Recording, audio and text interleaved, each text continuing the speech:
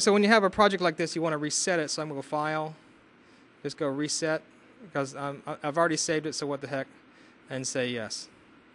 Now, when you save in 3ds Max, you want to make sure that you're saving versions, all right? Because 3ds Max often crashes, and even if you're saving your version, you're saving it over the same name, when it crashes, it can sometimes corrupt what you've done. So you want to make sure that you save as different versions. One way to do that, if you go Save As, there's a little plus button right here, and that allows you to save increment as version 1, version 2, version 3. You want to save often, okay? And I, you know, it's just the same story. I mean, all of us who have worked in computers a lot are you have had those nightmare stories where we just lost everything, and so eventually you learn to back up if it's not if it uh, uh, painfully. Now, there's actually when 3ds Max comes up here, there's actually th- four views. There's a perspective, the front view, a top view, and a left view. So really, as your scenes get more complex, you're actually going to want to use these different views. So if I draw a box here, then what happens is it shows me the different views. So if I draw a, a ball right next to it, let's say a sphere, then it allows me to, in a sense, know where I'm positioned from the different views. And so if you need to get something really accurate, you'll be using snap or you'll be using these, these different views. But as your scenes get more complex, you definitely will be using these three different uh, top, front, and bottom. I also noticed that, that on the perspective view, it, it is a true perspective. So if you put it farther away, you can lose the relative size it is to right. where it, it, it was if it were centered. Absolutely, absolutely. I'm going to go ahead and reset this, and we're going to draw a telescope. So if you want the whole screen, you just hit Alt W. That gives you the full screen. And this is the funnest thing we're going to draw. So, as, and we're going to show you how, once again, how to use this multiple selection deal or this multiple copy deal will help us do this. So what I'm going to do is just bring out a cylinder on the stage. There you go. And I'll just bring it up. There you go. And I want to rotate it, so I'll just hit the E key so I can rotate down. And look at the numbers at the bottom. See the X there? How I can see how many degrees I'm at? And I want to, of course, go to 90 degrees. I didn't quite get there. So I can just make sure I get there. Okay? So I typed it in. Now, I want to build a telescope. So what does a telescope look like? Well, it has many cylinders inside that you pull out. Okay? So let's go ahead and just select this right here. And let me go to uh, Q, excuse me. And let's think, what do I need to do? I need to make copies of the cylinder, so I'd use the shift key, right? But I want to shrink it all together, so I'd use the shrink command, which would be what? W-E-R, B-R. But then once I shrink it, I want to make multiple shrinks so it shrinks several times. So I can do it all at once. I'm going to come along here and hit the W key, I mean the R key, excuse me. And what I'm going to do is hold the shift key down. And, not, and what I want to do is actually just shrink two components. So let me show you how this goes. If I shrink this side, that's what I want to do. You see that? Two sides. If I shrunk that, then I'd be shrinking it all. So that's not what I want to do. So I'm going to grab those two sides right there. I'm going to hold my shift key down as I shrink. Okay.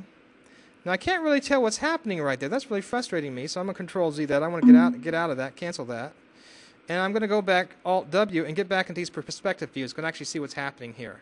So now if I come along here and I hold the Shift key down and I shrink, I can see that see that inner cylinder up there on the front. You guys look at front. You see that inner cylinder there? Now I can see what's happening. So there's you can see there's already a use for that.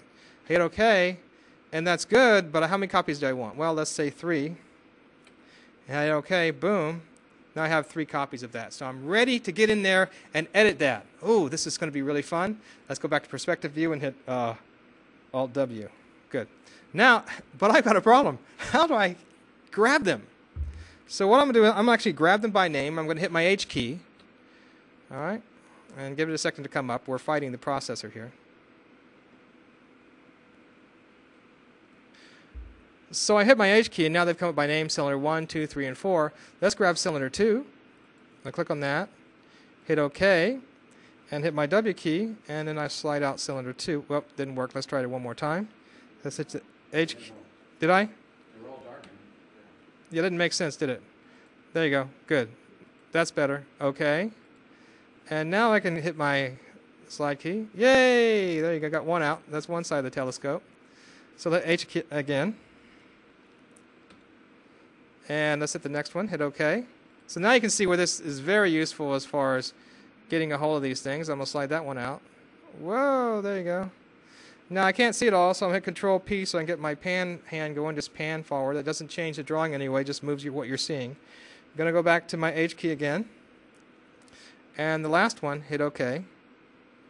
Okay, and make sure I got the W key selected, and let's pull that all the way out.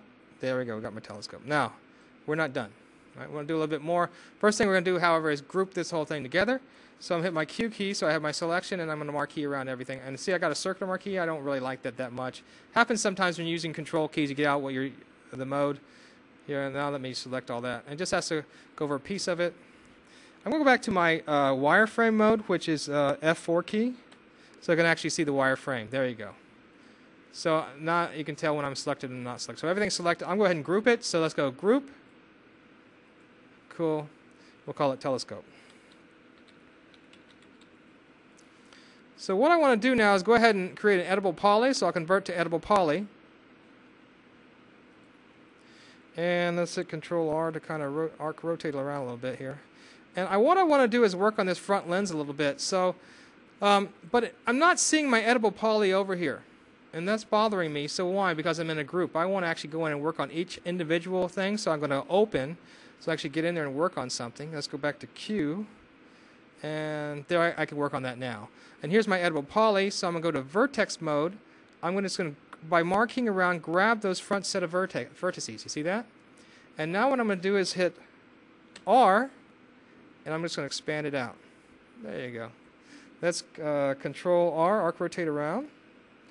And what I'm going to do now is hit that, I can hit the 4 key to get on my polygons, click on that, and what I want to do is use my bevel again, Control Shift B. That's bevel in a little bit and bevel in. There you go. There's a that's the first part of my telescope. Control R. I rotate around. Good. That doesn't look too bad, does it? Let's make the back part of my telescope. I'm going to do pretty much the same thing. I'm going to hit this right. Let's go ahead and once again hit my Control P to pan over. Control R to move around. And I'm going to hit my uh, one key to get vertices and highlight around. But I didn't get it. Why not? Because I'm still on this editable poly. I want to move over to this editable poly. I'm editing inside of a group. Go to that. I'm just going to get off of that. Now I should be able to click on that. There we go. Now we're on this editable poly. Going to marquee around those last few lines. Uh, let's go to vertices. That's where I want to be on. I'll hit the one key to move me down to vertices marquee around that, and then I just bring that out. Uh, control R to uh, arc rotate around. Going to go to forward, select polygon. That's the face of the polygon. Control Shift B to do a bevel. And bevel in. And I'm going to do one more thing just to make this a little bit a little more attractive. Rotate around. I, I'm going to grab these vertices if I can. And I'm just going to select around these few. There we go. This is few right here. I'm going to use the W key here just to push it in a little bit.